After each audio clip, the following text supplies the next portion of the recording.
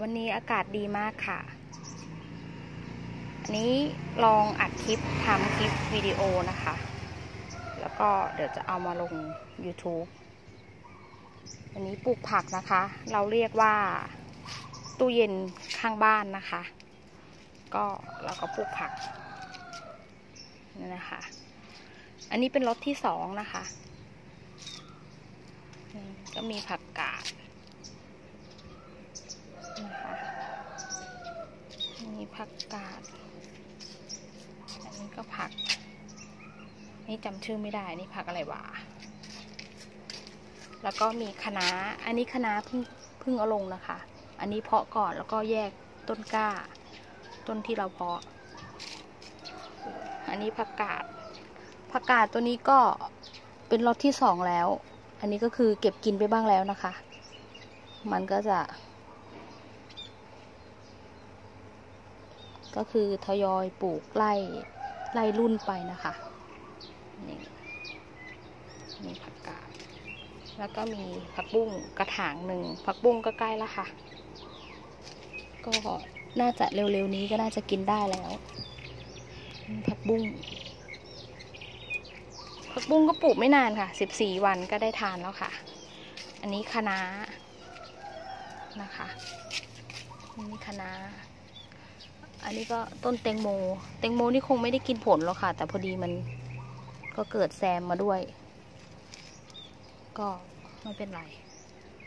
อันนี้คะน้าแล้วก็มี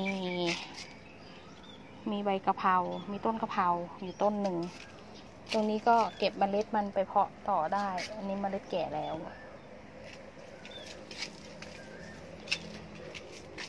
นี่ผักบุ้งจีน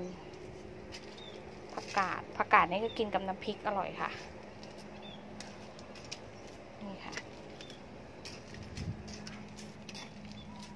หน้าบ้าน แล้วก็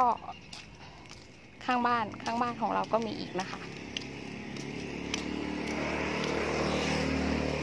ข้างบ้านของเราก็จะมีต้นมะเขือเทศ นี่มีต้นมะเขือเทศกำลังออกดอกค่ะ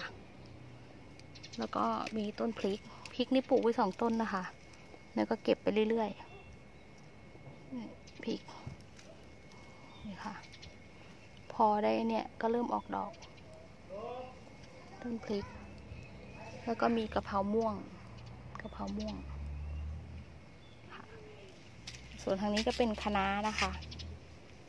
คะน้า อันนี้สู้แดดได้แล้ว สองสามวันแรกนี่ก็ ต้องทำร่มให้ค่ะ ไม่งั้นเดี๋ยวมันจะเฉาแดด อันนี้คือเขาแข็งแรงแล้วเขาก็สู้แดดได้ กานกำลังใหญ่ อันนี้คะนาค่ะ เมื่อเช้าเพิ่งใส่ปุ๋ยขี้บัวไป นี่เป็นปุ๋ยขี้บัว ใส่ปุ๋ยไป อันนี้ก็ปลูกโดยที่ไม่ใช้ยาฆ่าแมลงปลูกทานเองนะคะกะเพราของเราก็เกิดหลายต้นค่ะ ต้นกะเพราแล้วก็มีต้นมะเขือเทศค่ะ